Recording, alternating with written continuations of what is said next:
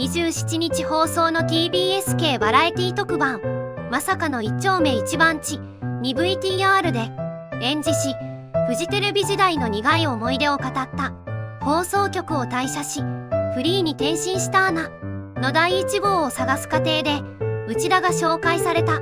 内田は1999年に富士に入社。04年から7年連続視聴率3冠。を獲得した同局の黄金期を支えた人気アナだった。タモリの優しさに甘えうちの親がこの彼反対してるんです。ってずっとタモリさんに言ってたと恋愛相談をしていたことを明かした。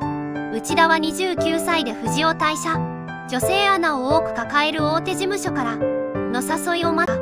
27日放送の TBS 系バラエティ特番。まさかの一丁目一番地 2VTR で